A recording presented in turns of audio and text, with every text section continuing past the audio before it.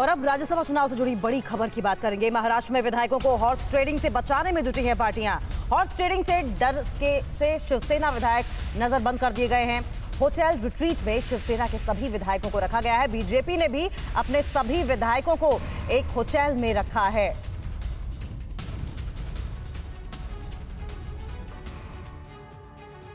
राज्यसभा चुनाव को लेकर महाराष्ट्र में भी हॉर्स ट्रेडिंग का जिन्न बाहर आ रहा है।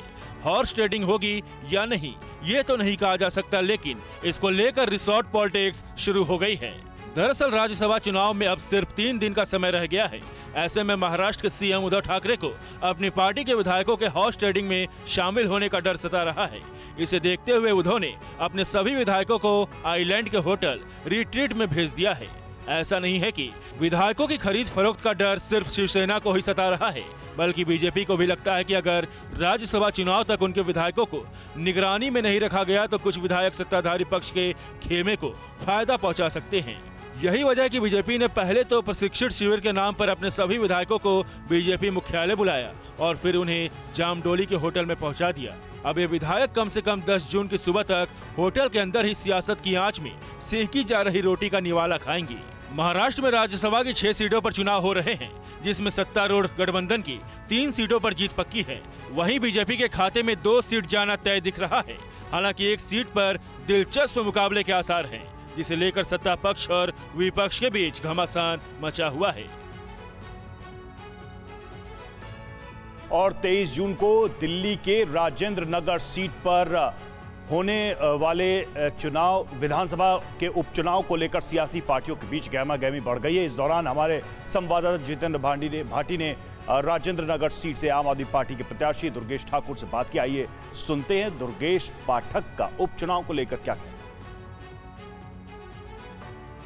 अच्छा दुर्गेश जी नामांकन भर दिया है। क्या मुद्दे पर जनता के बीच लेके? देखिए जनता यही चाहती है कि जो काम बहुत अच्छे हो रहे हैं वो काम कंटिन्यू रहे वो काम अच्छे से चले। जनता यही चाहती है जो अरविंद केजरीवाल जी ने काम बहुत अच्छे किए हैं दिल्ली के अंदर वो काम कंटिन्यू आ, मैंने दोनों प्रत्याशी से बात की चाहे वो कांग्रेस के थे या भाजपा के थे। एक नया मुद्दा उठा रहे हैं कह रहे हैं कि आप बाहर ही हैं।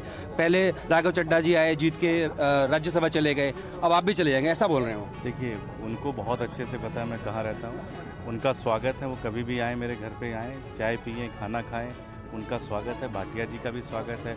उनके बीजेपी की पूरी लीडरशिप का स्वागत है। आप कभी भी आए हमारे उनको पता है मैं कहाँ रहता हूँ।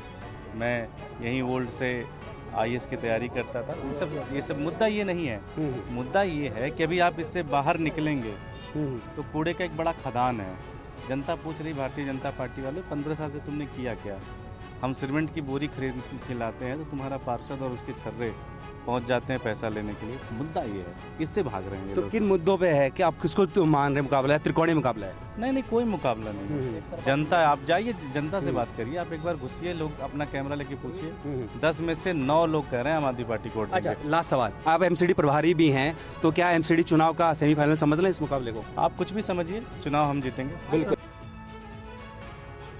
अड़ी सोमवार से शुक्रवार शाम छह बजे सिर्फ़ टीवी नाइन भारतवर्ष पर।